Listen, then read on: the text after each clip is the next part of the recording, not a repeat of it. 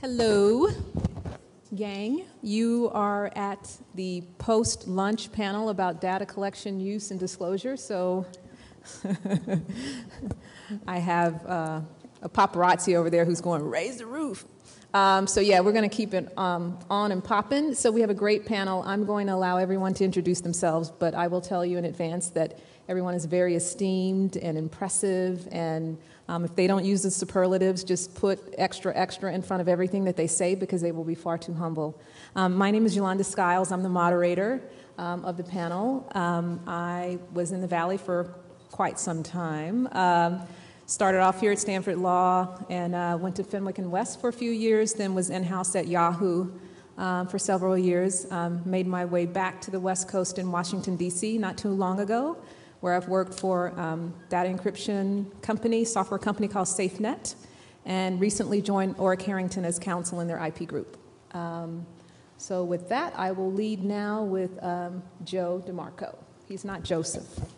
Either one is fine. Uh, thank you so much, uh, Yolanda. Um, my name is Joseph DeMarco. I'm a partner at the law firm of DeVore and DeMarco in New York, which is a boutique law firm specializing in data privacy and security and cybercrime uh, legal issues. I used to run the cybercrime unit at the U.S. Attorney's Office in New York and did that for about 10 years from 1997 to 2007. And in my practice, spent a great deal of time dealing with regulators, law enforcement officials, uh, and referring matters to law enforcement uh, for them to conduct investigations and prosecutions.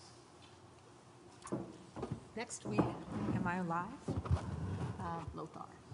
Thank you. I'm Lothar Determann. I'm a partner at Baker McKenzie in Palo Alto, and I teach privacy law at Hastings and Yergon, Stanford. Hi, I'm Sarah Harrington. I'm from LinkedIn, and you can find a lot about me on my LinkedIn profile. That's a shameless plug. Um, when, we, when we're at LinkedIn, we actually do these uh, all hands meetings every two weeks where you have to um, sort of three people are chosen at random, new employees, to go up in front of the whole company, introduce themselves, and you have to either talk about something that's not on your LinkedIn profile or do a talent, which often is an animal sound. So um, I'm not going to do either of those. but you can. Why not? You can. Um, I'm Benjamin Lee. I'm a legal director over at Twitter, head of litigation and IP. Um, and uh, oh yeah, and uh, my uh, Twitter handle is at benl as another shameless plug. Um, it's a. You know. Hi, I'm uh, Bart Volkmer. I'm an attorney at Dropbox, and I work on litigation, regulatory, privacy, security, a bunch of different stuff. Since we're a startup and don't have a big team, I get the pleasure of working on a lot of different stuff. Great.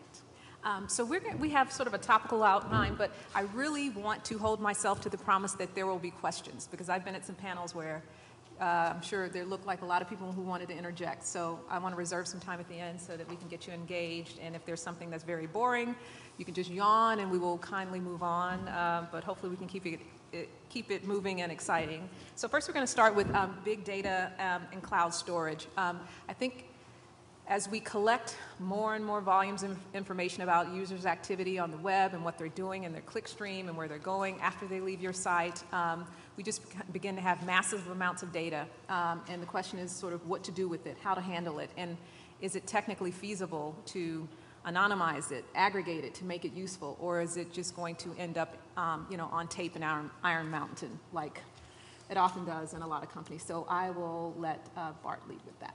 Sure. I mean, there, there was one point that I wanted to make on big data. We um, we at Dropbox, we store everyone's stuff, and, uh, and usually we want to do exactly what the, what the user wants us to do with their data. So if you upload files to Dropbox, we want to be able to store that data securely for as long as you want us to do it. So our main, our main um, mission is to store your stuff safely and securely. So um, that means that there's a lot of data that, that, gets stored at Dropbox, and that means for our users, um, data is becoming more ubiquitous, it's becoming more cheap.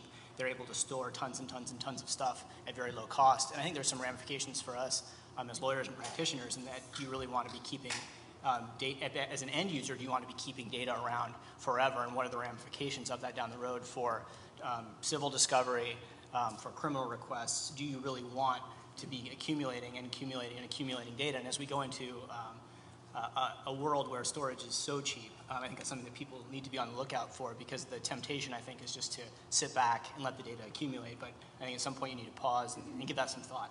Um, I think Lothar had some thoughts about big data and, and, the ramifications as well. Yeah, one point I want to make on that, like as a takeaway to kick it off, is I think as we think global and act local, we also need to talk local about it. And we heard on the previous panels the European view on data protection law, quite different from how we are all excited about massive amounts of data here. Sounds like a cool thing when we just heard that people are letting up and big data sounds better than medium-sized data or small data. And so we're all excited about this here, right? But from the European angle, probably when you say big data there, then what they hear is massive amounts of data used for a new purpose that it was not originally collected for. Nobody's been told about it. Nobody's been asked consent for. Because the whole purpose of big data is that you do research and analysis that you could previously not do. So I think it's important that we know that when we speak to European customers, regulators, distributors, and so on, that we emphasize the good things about our services and not just use this term big data. I don't think it's a helpful one, particularly um, in other countries. The, Oh, go ahead. no, go ahead. The, the other one is cloud. Similarly, I mean, we're all excited about clouds here, especially on a day like this. But when we hear cloud here and we hear cloud in Europe, cloud is synonymous for you don't really see through it. You don't know where the data is anymore. Um, we have so many different vendors, we don't even know where they are, and so we can't tell you in the agreement and so on.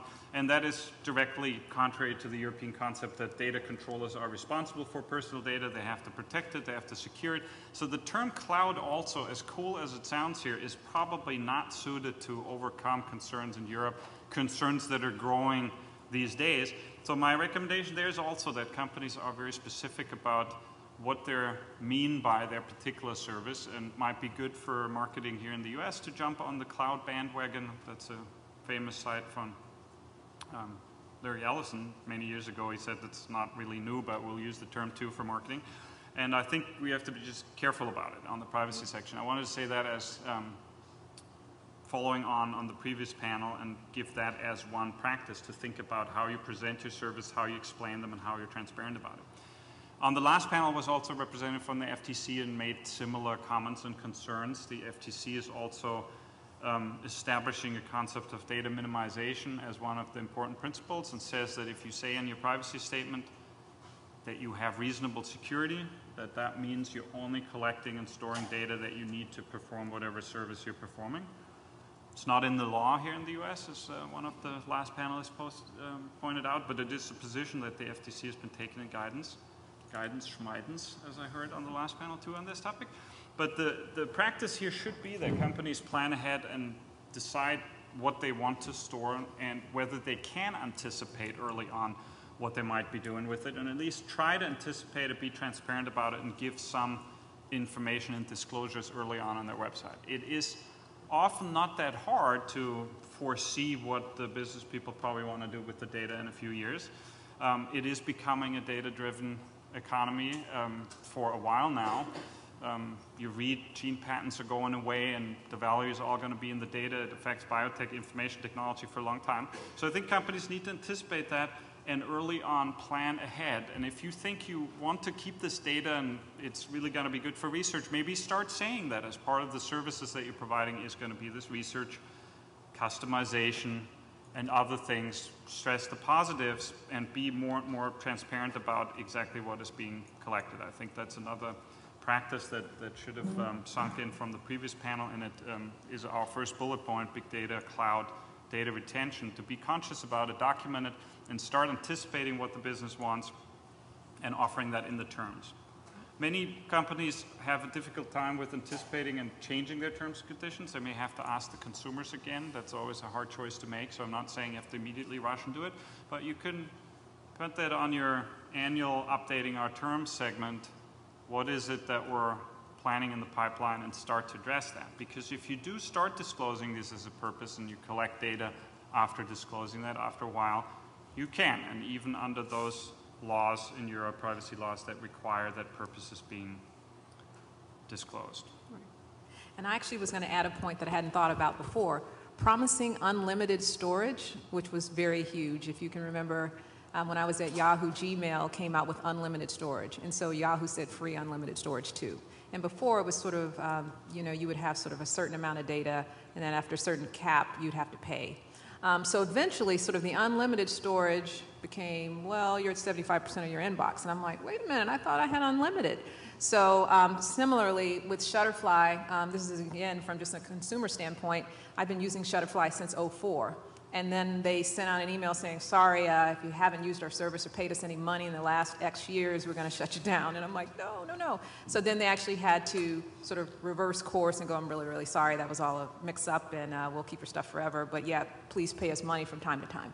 Um, so I think when you make the promises that we're going to keep like your your email active forever or we'll you know deactivate it if you don't use it after a certain point or you have unlimited storage or we have a premium model that you get one gig at this price and then you have to reprice it i think that's something also to think about with big data. What promises are you making to the consumer about your service whether it's dropbox or any other sort of digital storage locker and are you keeping them? And then frankly when business conditions change um, how are you able to sort of roll out a new pricing model or a new financial structure where you're sort of uh, going to sort of modify the, the, the previous um, contract. Um, so any, any other feedback on that? Yeah, I think you know we're going to talk in a little bit about requests for information, and I think that you know when as a precursor to getting into that, I think really there it really comes down to four broad points, uh, and the specifics are going to vary by your organization. But from the perspective of an outside counsel that deals with companies that are asked to produce information for the government or in litigation or otherwise, I think it really comes down to these four. First is just collect what you need.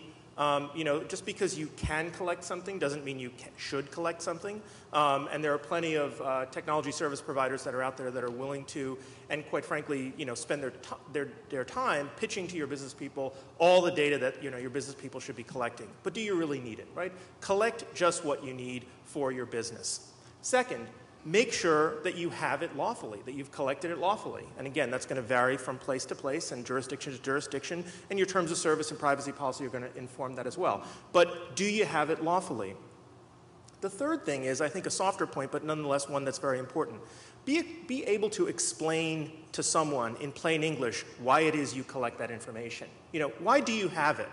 And hopefully there's a good business reason or there's a good legal reason or a good compliance reason to have it. But if you can't explain why you're collecting some data, then maybe you shouldn't be collecting that data. And then the fourth thing is obviously secure it well and dispose of it when you no longer need it. The truth of the matter is if you don't have data, then you can't be in a position to turn it over to a third party that wants it, nor can you be in a position to lose it and run afoul of some FTC requirement or get sued by plaintiff's attorneys. So I think good data management practices really come down to those kind of four cardinal principles. And if you are good on those four, your odds of getting in any kind of trouble or getting crosswise with someone who wants the data from you drop down dramatically. Well, actually, I'm going to ask uh, some of our business people, our in-house people, sort of, you know, how, how is need defined? Because I'm sure engineers or business people go, there's always, I mean, data is always good. Like the more, the better. Um, and I think the need changes, but I think given that sort of companies' valuations are based upon sort of being able to amass amounts, you know, massive amounts of data about what users want, what they clicked on, what they didn't click on, what they searched on, where they went to when they left your site. Um, I, I, just wonder if, if, there's any way to sort of like push back on sort of a, a narrowing of the definition of need. I'm happy to speak to it. Yeah. Um, so yeah, I think engineers have a very different understanding of what is needed, and uh, if you ask them, probably more is better, and all of it is great. Um, and I think kind of that's their go-to because they don't know what they might need, and that's how they think about things. They're, they're engineering, they're sort of operating in a very dynamic place, and technology is pushing them all the time. And so these data sets allow them and give them the insights they need to build new products. So I think at the end of the day, it kind of goes to a sort of an internal kind of best tips is as a lawyer, get in there, get with your engineers, and understand what they are actually collecting. Because I think there can be kind of the policy about let's just collect what we need, and I think there could be a, a, huge disconnect between the engineering and product people and actually the legal folks who are sort of thinking about it in more narrow terms and writing the privacy policies. So that would be my first thing is to really get in there and do inventories and and kind of keep checking in because things change, and it's going to change whether you're on a mobile device or, or an iPad or a computer. Um, and then I think the other thing to really sort of do, and one of the things that um, I, have only been at LinkedIn for a year, and it's the first company I've ever worked at, and one of the things that um, was really fascinating with me is, is we have these values on our walls and people actually follow them and believe in them and that's kind of neat to be at a company where that's the case and so one of those primary values is members first and so what has gone from top to bottom is this idea is that we're doing everything for our members first and not necessarily for revenue. And when you kind of can change the mindset that way, you can have the engineers collect data because it's going to be good for the member. It'll result in a valuable service or something for them and not just necessarily data that the company can try to exploit later. And um, they really buy into that, and we as a company all buy into that. And that makes it so that the lawyers and the engineers are not necessarily at odds. We're sort of working towards the same purpose, and that really allows you to have discussions and things, say things like, well, is collecting that data really members first? And we're talking the same language. Yeah, I'm not certain I have much to add to that, Sarah. That's, um, I, I think the one thing I think I might say is that in addition to kind of worrying about how to secure the user's data um, and then how to get rid of it, like when you don't need it, um, you might also consider, of course, the question of how do the users get access to it? In other words, can they extract it from the system? Um, that's a feature that we just um, recently launched, and I, it, it's one of those ironic things you think would be pretty straightforward as an engineering issue. It was not. It was um, pretty hellish to get this thing to work, but that's another thing in the back of your head because it's the last thing the engineer is thinking about is, oh my gosh, maybe the user might want to export this data at some point, and so it's better to put that on the roadmap earlier rather than later. Yeah, and I, I think that one other thing you can do is when you're working with engineering teams is they, they'll, they'll say we want to log X field for X purpose, and it sounds all very good. There's an articulable business purpose. It all sounds great. Um, I'll ask, well, can we expire this data after a certain period of time, or can we anonymize the data, or if it's IP, do we really need the last octet, or if it's, if, if it's a particular piece of data, do we need it on an, an individual user basis, or can we log in the aggregate? These things that are protecting users and making it making it better for users in the long run so we just don't have tons and tons of data about users while still fulfilling the business purpose. I think that's something, those are the conversations I try to have um, internally. Yeah, I think the, the point of minimizing data minimization a little bit there by not just saying all or nothing, you can't have the data Yeah. at all, you can have something that is partially hashed or so. And- And to add to that, I think is uh, other points, we'll get to that when we talk about government access as well. Where do you have it? So it's one thing to have it in one super secured area where only a few engineers have access to and they do use it for research and so on. So I'm a little more bullish about I would let them play with it if it's somehow possible and it's disclosed and you have a white paper explaining to your customer why it's necessary or some disclosures. But then have it in one place, have it heavily secured, and not everybody in the in, the company has access to it in every jurisdiction that may be subject to litigation and, and other things. So I think on the minimization, one these technological measures, and then also geographically within the company to have access controls in place and document those well. Um, on the retention, I would say it's very hard to do because there's minimum retention requirements. The Europeans have laws that have been challenged in a number of jurisdictions now how long you must keep data so it's available to the government and when you have to delete it. And that's very difficult to uh, comply with.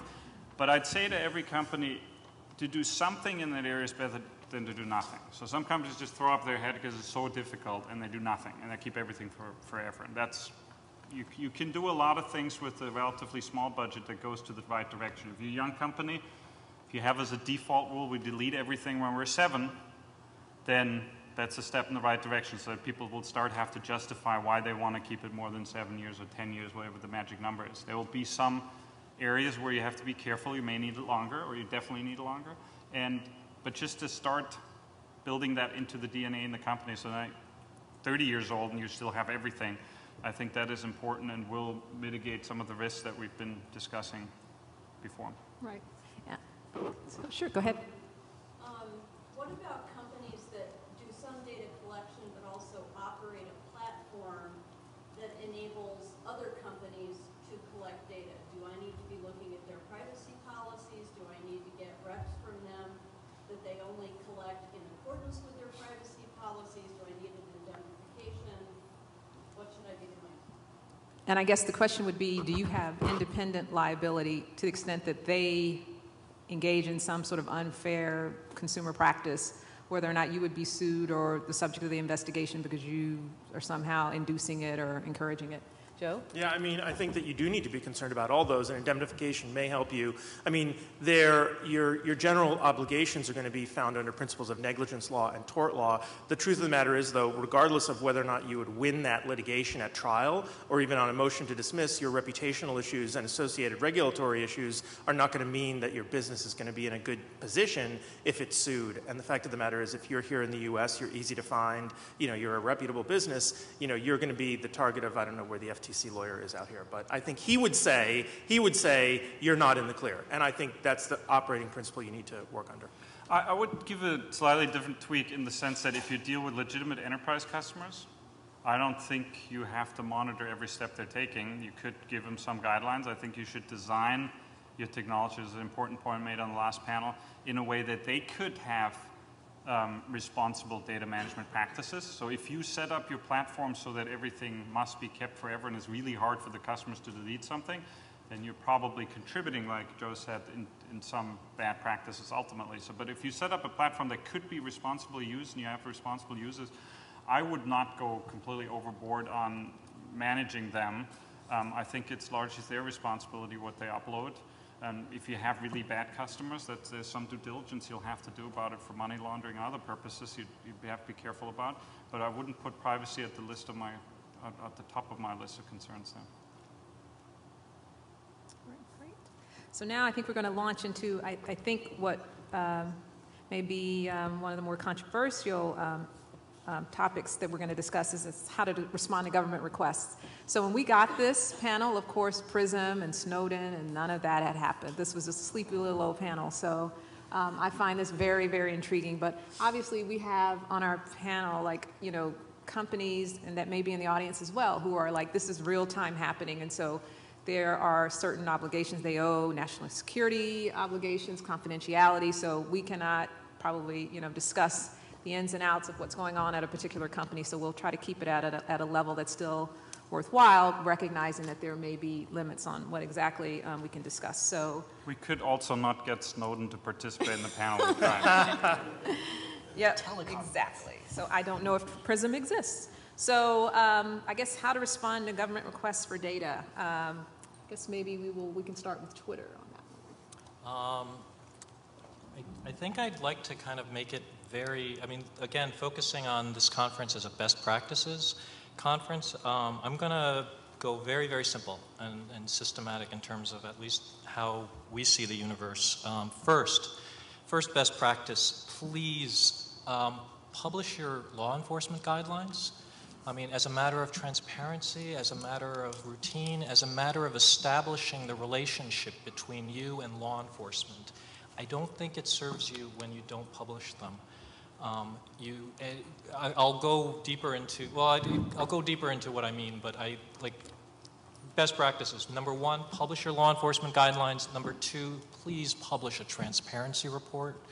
Um, but going back again to at least what should probably be in your law enforcement guidelines, being very, very specific about the kinds of things you're going to want to be very clear you know, one, you're going to be want to be very clear about the kinds of information you have.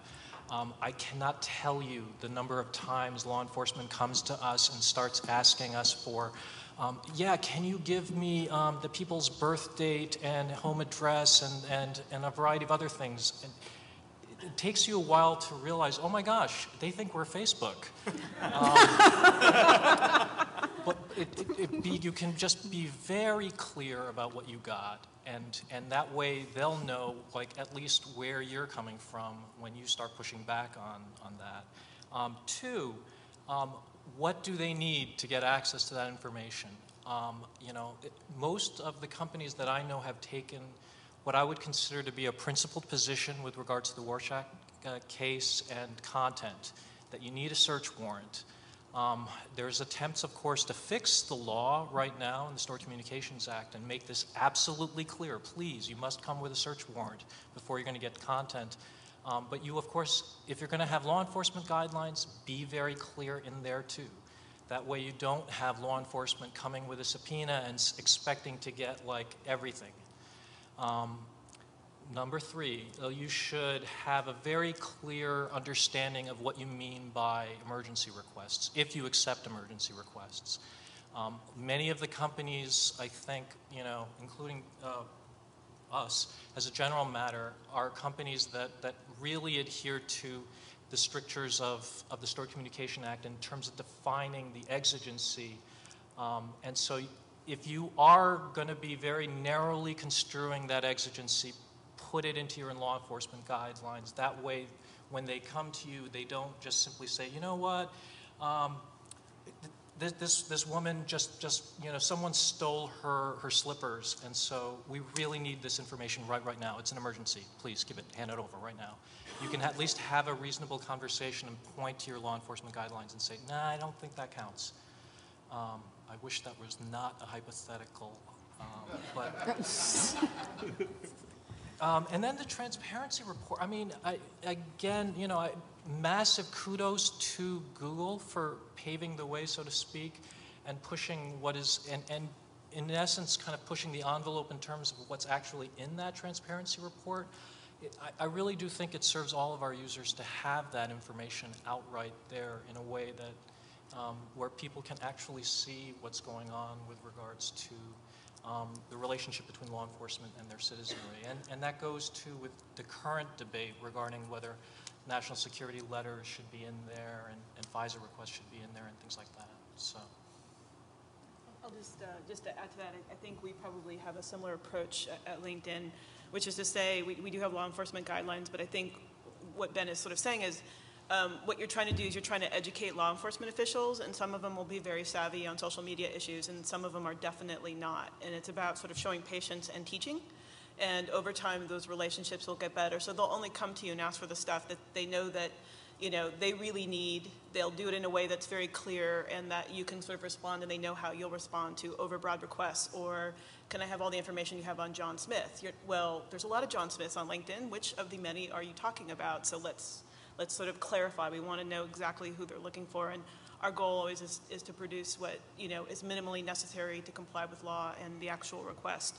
And um, just on the transparent point, we absolutely um, agree on that. Where there's a lot of companies that have great practices, and uh, to those of you who aren't familiar, I invite you to go look at EFF. They've got their transparency reports, and there's lots of companies that do these, including Microsoft, LinkedIn, and, and um, it's, it's a great way to sort of for people to educate themselves about um, what's going on. Yeah, I, I just want to add um, one quick point that might be a little more philosophical, but at, at, Dropbox, we want people to store their most important stuff in their Dropbox, so their, their tax returns and the stuff that is most important to them. We want them to be comfortable storing that stuff in their Dropbox. And so part of, part of the way um, that can happen is if we have the Fourth Amendment protecting that content. And so we take a we take a look we take a look at this and we think at this problem and think, well, if law enforcement is asking for your information and they're getting a warrant, um, the same standards that would apply if they're going to come into your den and come into your filing cabinet should apply to your Dropbox. There should be really no distinction because there's no distinction in the way people live their lives. Um, so the consequences of that would be people should get notice about this stuff. If the government's coming after you and they want to search in your den, um, barring some corner cases, you're going to know about it. They'll leave a return. They'll knock on the door. So we want to be able to provide notice to our users. Um, and also the overbreadth point um, that Sarah brought up, I think, is a really good one. Uh, a warrant, there's a specificity requirement within the Fourth Amendment, and we want that applied to, to apply to your Dropbox too. Don't, they don't come with a warrant saying, I want to search everything in your house and everything in your car and everything you've ever had access to. Um, so too, it would be inappropriate to say, I want everything in your Dropbox. So we're taking the Fourth Amendment physical world jurisprudence and we want to engraft that into what's happening in your Dropbox. And that's, that's the lens through which we view this issue. I, I think if I can just quickly name drop a, a law review article, it's actually Stanford Law Review article, Orin Kerr. I suspect many of us on this panel have been, um, thought he's done some good thinking on this. And so to those of you who like to read law review articles, Orin Kerr wrote one and it uh, does the Fourth Amendment uh, as applied to the internet. It's a, it's a great, interesting article. Now, I'm, I'm just curious because I read um, the privacy policies and they usually say something generic to the consumer we will produce your data in response to valid legal process or something generic, um, which doesn't, I mean, so there are a lot of guidelines behind that. Has there ever been an effort to actually publicly disclose what these sort of law enforcement guidelines are, or is that considered like confidential proprietary work product of the company? Uh, well, for Dropbox, we have a law enforcement guidebook that we publish. We have a transparency report that we publish. Um, it's, an important, it's a really important issue for us, I mean, we don't get a lot of requests, so we're not in the category of Twitter, Facebook, Microsoft, Google. Like we're not in that on that scale, but since the data that people have in their Dropbox is so important, this is really front and center uh, within our legal department. Is something that we care about. So yeah, we tra- we publish transparency report. We publish law enforcement guidebook. The guidebook says you need a warrant to get the con- to get that content. Um, we provide notice, um, and it sets forth those principles um, to our to our users. Anybody else? I think it's an important point that you make that a company has to decide for themselves where they want to be on that spectrum, right? There's some requests you will have to answer regardless of what you say in your guidelines, regardless of what you say to your consumers, and it's whatever the law is. And then there's situations where you may want to cooperate with law enforcement. You want them to help you, or that want them to help protect the user. And then there's this gray zone where you get some warrants, maybe from another country and so on. You don't really know exactly if they're right on. And I think for the type of situations in this other two buckets that I'm mentioning here, the companies want to reserve some flexibility so that if they do cooperate and disclose something, that they don't get sued over it, right? Mm-hmm. So they're walking a, a, a tightrope walk there. If they're too much reserving everything, and there's lots of privacy policies that say we reserve the right to disclose it if we believe that we might have a legitimate interest, maybe. Right. And there's lots of those. And we've had telecommunication service provider argue in court that it's their free speech right to disclose whatever information they want to the government. Those are things that have been said in front of U.S. courts about disclosing user data. So companies are in the middle of that. And I think we've heard some very good practices here. Whether they're best practice, a previous um, speaker here, general counsel a few years ago, said best practice is whatever works best for your particular company, right? So there's some companies where that works really well and it's important to them and the users have more trust and they will go to these companies. Mm-hmm. And there's other companies that may have to a greater interest to cooperate more with law enforcement to keep fraudsters off the platform or predators or so. And maybe they that's not the best practice for them. Maybe they have to reserve more rights to cooperate with law enforcement because it's more important to them to keep it safe and secure than to protect the privacy. Some platforms want free speech. It's really important that people can be anonymous posting and so on. And other platforms say people behave better if they have their name down, and we are not interested to protect somebody who's getting in trouble with the law. So I think the best practice is probably to start thinking about what is good for your company. And if you're in a situation like the company where you want to build trust and you want people to upload really sensitive stuff and exercise free speech and so on, then those um, practices are really good ones where you promise a lot on the platform so you can later oppose law enforcement and say, I can't do it.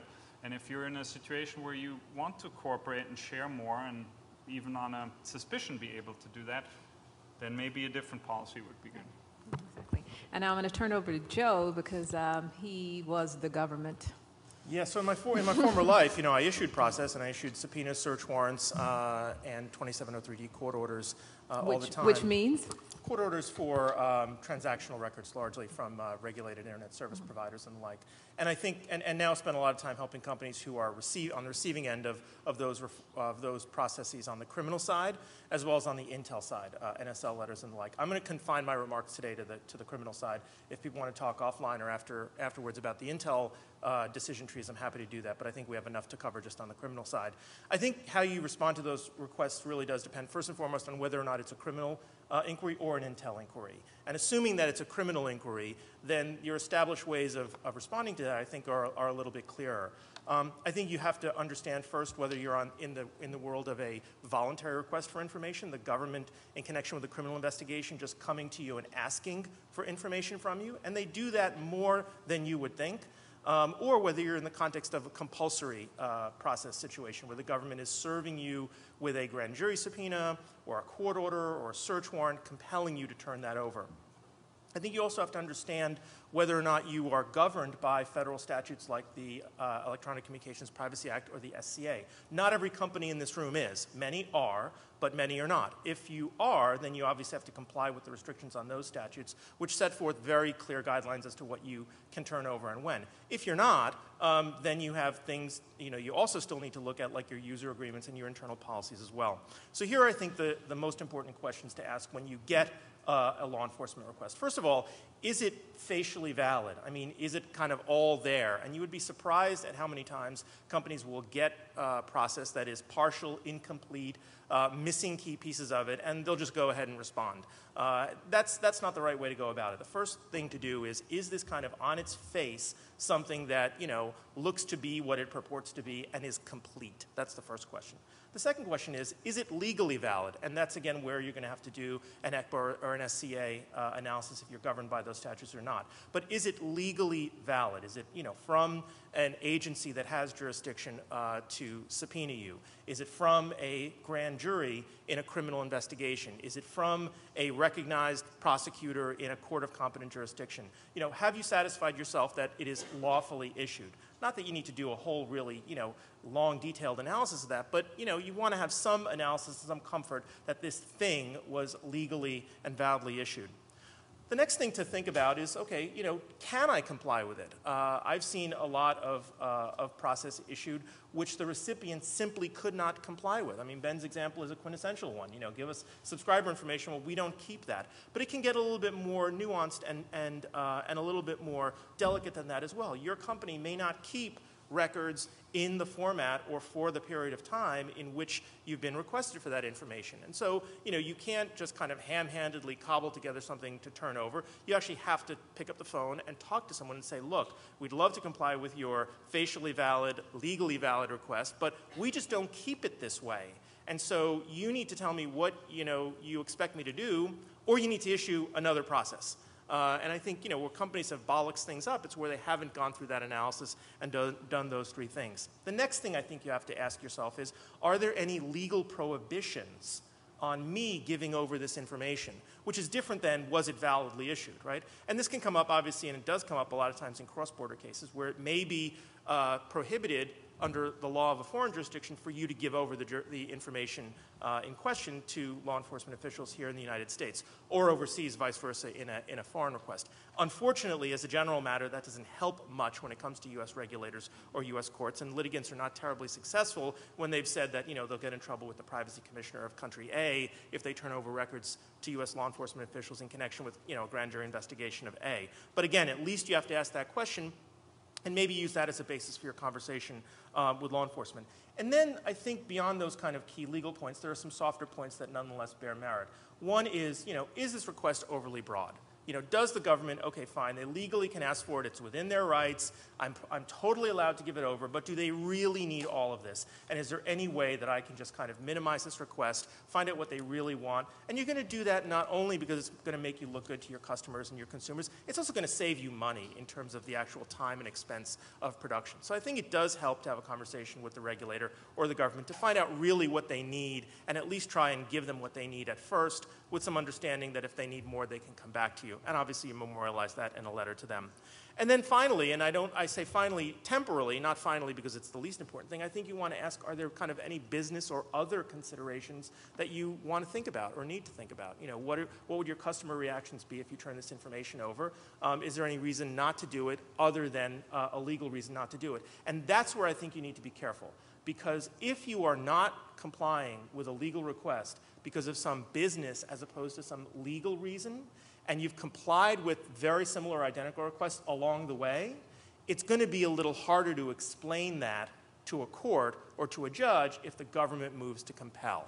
So I think you need to think through that process very, very carefully. Obviously, there are other considerations, but I think those are kind of the key ones and the key decision matrix that I see clients go through, uh, and that I think is, on the criminal side at least, not the intel side, uh, the most common recurring um, decision tree. Right. Now, I had a question. So he went through a very um, sort of detailed outline of how to analyze this. So, practically speaking, best practices are you going to hire an army of paralegals to do this? Are you going to have a checklist?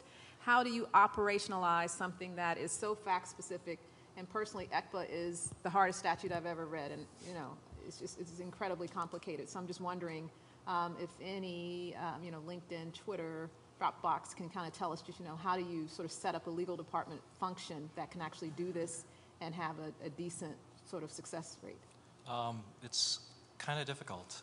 Um, I, I, let me give, I guess, like a very specific example, which is um, uh, we have a policy of providing notice to the users where we can. Um, so it sounds straightforward, which is that if you've got a piece of legal process in front of you that says you cannot provide user notice, then you don't provide user notice. Um, it's not as simple as that. Um, so we have, um, I wish it were an army. It is not. It's a handful of people. Um, they literally look at this, this piece of notice and they scrutinize it up the wazoo in terms of whether what is the real legal basis for the lack of notice to the user. Um, I must tell you that the standard line you will hear from every ADA across the country is you are not allowed to provide notice because. And that's the line. You know, I mean, ultimately, it may come from the vantage point of just saying, well, you know, we are requesting you not provide notice. We are demanding you provide no notice. We strongly encourage you not to provide notice. Um, at that, that point, you know, so our, you know, our wonderful team on our side looks at that and says, but what the hell is the legal basis? You know, and it, it one of the, the battles that we have very often that are not visible, as, as visible as some of our other famous battles and all that, is, is on the grand jury side. Every ADA thinks that every grand jury subpoena is something that you are not allowed to give notice on. And I can tell you for a fact that is not always true, um, regardless of what they think it is. So it, it's, it's not fun when you're arguing with an ADA and the ADA says that this is the law in, in whatever state they're coming from, and you have to push back and say, I don't think that's the law. Um, but, but unfortunately, if you're going to commit to a policy that says you're going to fight for notice for the user, um, these are the kinds of battles that you have to kind of staff up for and actually have people that will kind of hold their own against, you know, a pretty, pretty angry ADA who wants no notice to that user. Uh, Can I just interject? I mean, I, and I think that's exactly right. Um, you know, it's a little easier on the federal side because federal prosecutors are not allowed to command you to not disclose that you were served with a grand jury subpoena. They can request it. They really can't do anything with you, anything to you, if you choose to ignore that request. The state laws vary, and some states, under some circumstances, can uh, require you not to notify uh, the, the subscriber. So it's a little bit more trickier when it's an ADA as opposed to an AUSA.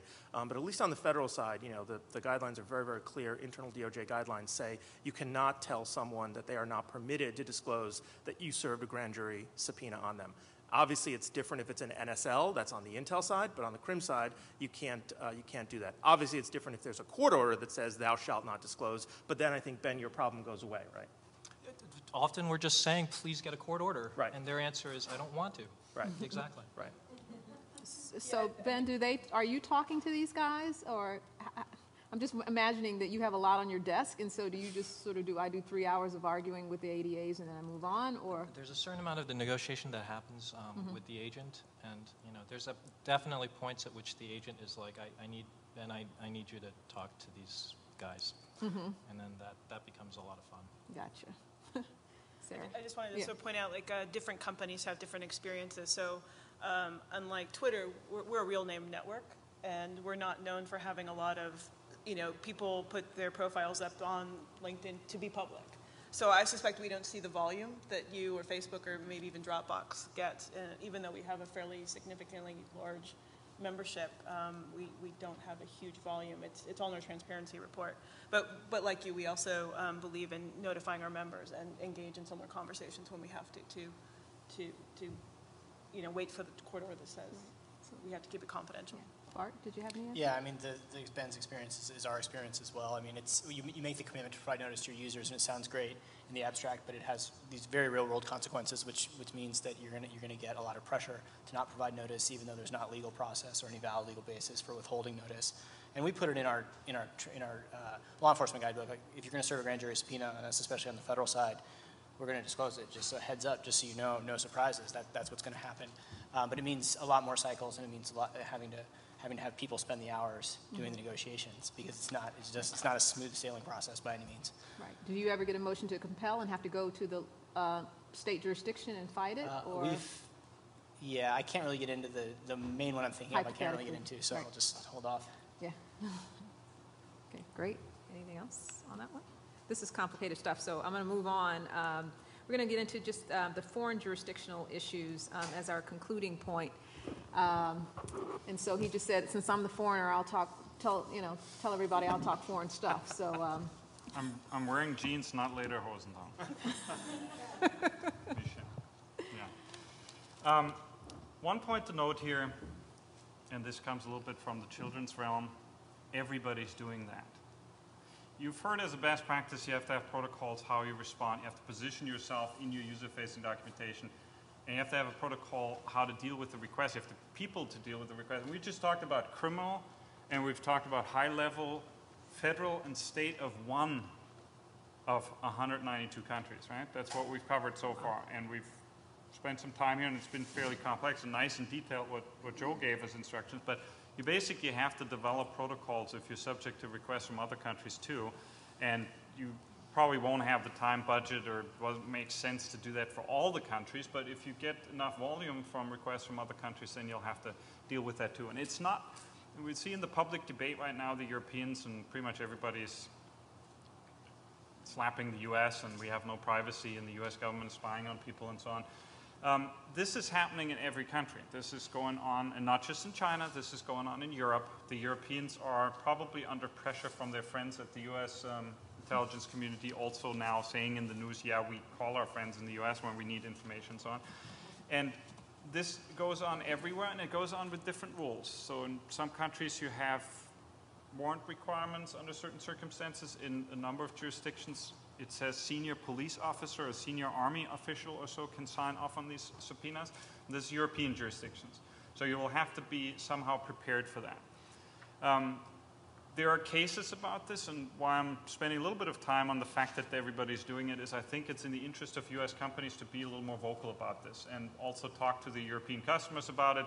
A lot of enterprise companies that I work with that sell to the enterprise are saying, mm, now we're getting all these questions from the European customers or their consultants and our competitors, and everybody's saying bad things about having data in the US or on the US cloud and so on. I think it's an important battle that the US industry as a whole and the US government have to fight to educate about the fact that this is not just going on in the US. And there's enough cases that we can share that are public where one country also reaches over the borders. Um, so, how to prepare for that? As a general rule, even though countries can legislate whatever they want, and it doesn't have to have any nexus to their jurisdiction, there's no public law internationally that restricts a country what they want to legislate. And we are sure here in the US have solved other countries' problems with Cuba embargoes and so on that apply to everyone. And other countries can do that too, right? But enforcing is a very domestic matter.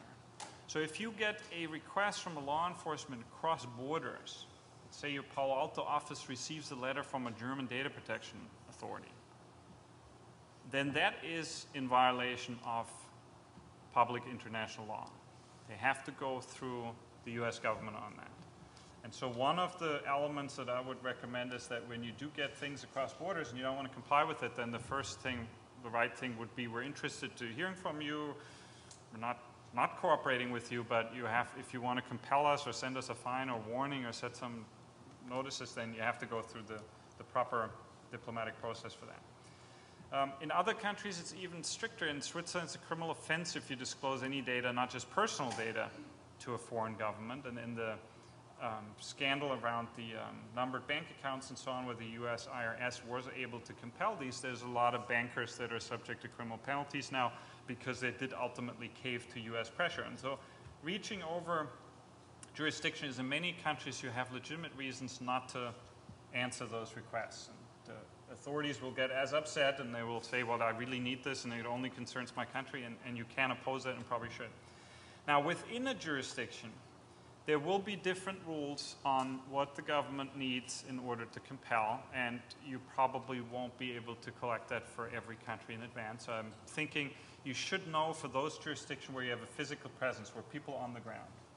And what we recommend and we've done for clients on a risk-based, depending on what industry they are, we started preparing them, for example, for dawn raids. A lot of the European agencies have the ability to just show up at your office at dawn legitimately because that's when the U.S. legal department is fast asleep and they just show up at the local office and say, give me everything, and they can bring guns and they can get passwords and they can access computers. And um, And lock your people up? they can do that in India, including your lawyer. Your outside counsel can be thrown in jail if, they, if they're not cooperating. But let's just focus on Europe for, for one second, which is um, probably relevant for a lot of companies. I think then it becomes important some of the things that um, we said earlier in terms of planning on where you have data and how much data you have. Um, not for privacy purposes, but in order to protect your company as well. So if your European offices are really sales offices and they're supposed to sell the service, they should not have access to the US server with all the tax information and so on. So if the Paris office is raided and they come in and they take a password of an employee there, it shouldn't give them information about your revenue in the US or how much money you were making in Europe and so on. So data access controls are nicely aligned here from a privacy perspective and also protecting company interests.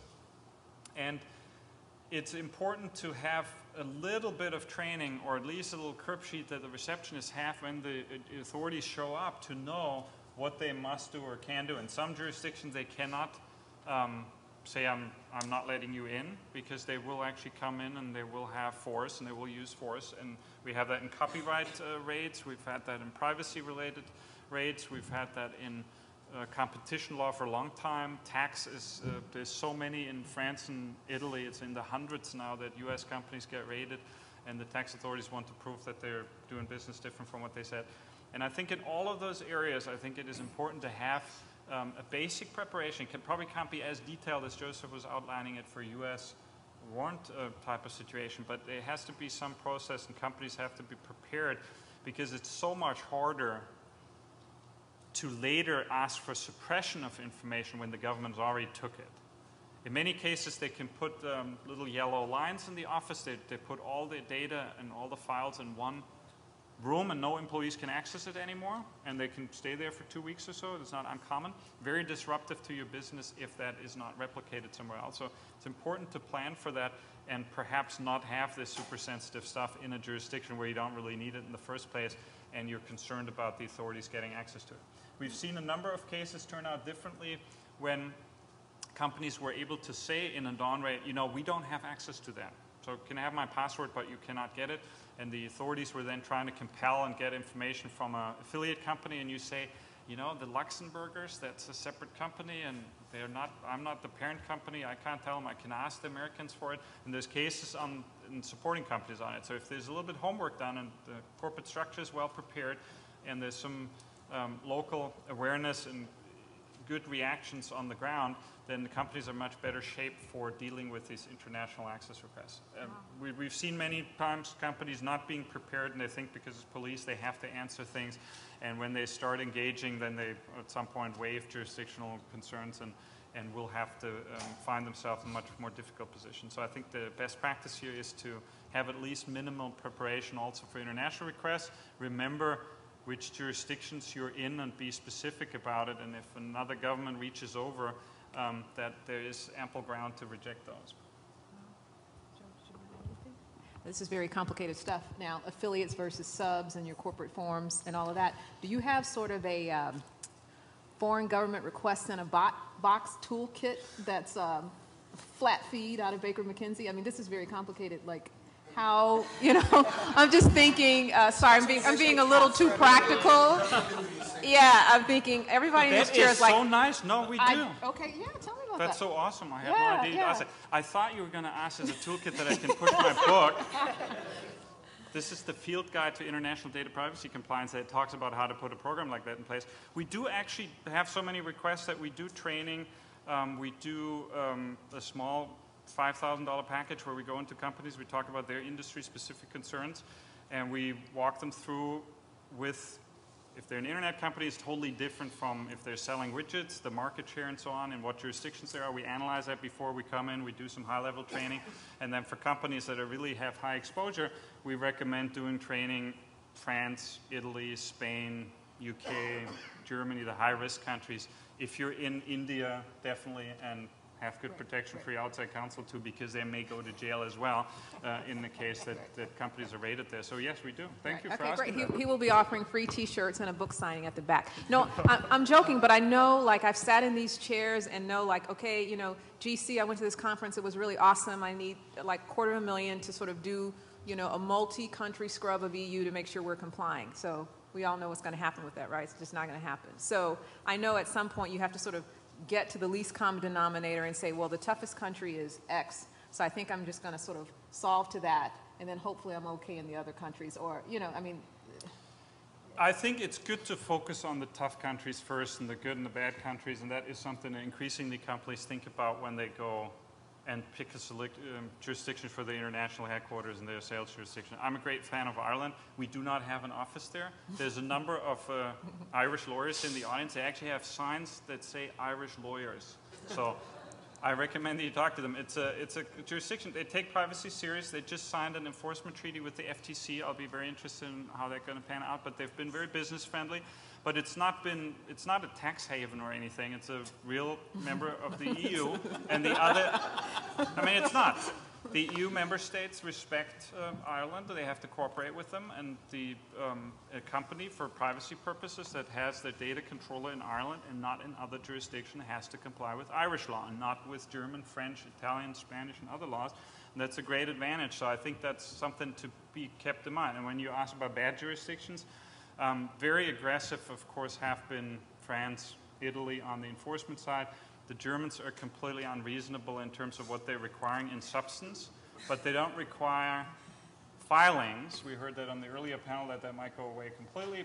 They don't require the filings, but when you do get audited and you have to engage with them, the positions that the authorities are taking is, is very, very strict. And they pride themselves, they see that as a competitive advantage for their companies and see how, how that will pan out in the long run.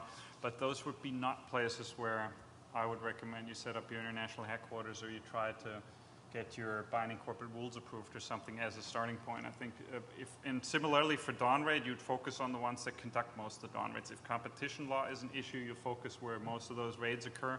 And if it's, um, if you have a aggressive tax structure or any tax structure that, that the people in the press already complain about, then France and Italy are not good places to be these days. Wow. So I promised it's time for questions, so I think we can open it up. Uh, we could talk some more about this stuff. So um, do we have any audience questions, comments, clarifications? Okay, yes. So, um, this is again a little left from the other types of panels, but, um, if there are gonna be changes in the European privacy law, do you expect that the FTC safe harbor will remain relatively stable and available to US companies who may not be in a good position to comply with the new EU requirements? I'd be happy to take that. I mean, I've said on this panel here for the last few years that I don't see this regulation to pass. I have not changed my mind on that. I think that's still way out there. The Irish presidency's completely changed it. I don't think we have to talk about best practices with respect to regulation until 2016 or 2017, so I wouldn't be too worried about it. The EU and the Department of Commerce has recently made an announcement, said that the safe harbor would survive the regulation. Um, it is being criticized in the member states quite a bit, so it could be that at some point there'll be changes made. I think the safe harbor works great. Um, companies here in the room, many of you are safe harbor certified, and you know from your own experience that it is taken very serious in the organization. It's a reason once a year to go through everything. You do your self-assessment. Uh, executives have for the long time not signed off on stuff without being comfortable, and I think it's a great uh, exercise for every company to go through, and I think it's a program that works very well, even if there's some um, corners in Europe that are complaining about it, and that's uh, I don't I don't see that going away. I think that will stay relatively safe. I just wanted to add on though, it's a very important practice point that we still have to comply with the European law. Right. And safe harbor is just a vehicle to get everybody, we still have to. Yeah. No, but my clients did the process of getting the law. For those could- who couldn't hear, that was Michelle Dennedy um, who just mentioned, by the way, the safe harbor doesn't mean you get to sort of opt out of all other compliance. You still have to comply with European law. That's the point. It wouldn't make safe harbor easier.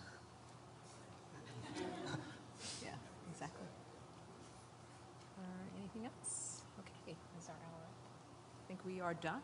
Um, So thank you for joining us, and, um, And ask Joseph about the intelligence stuff now. and he He said he would tell you everything. Thanks, Intel, Lothar. Intel. Thanks, All right, Lothar. all right, Great.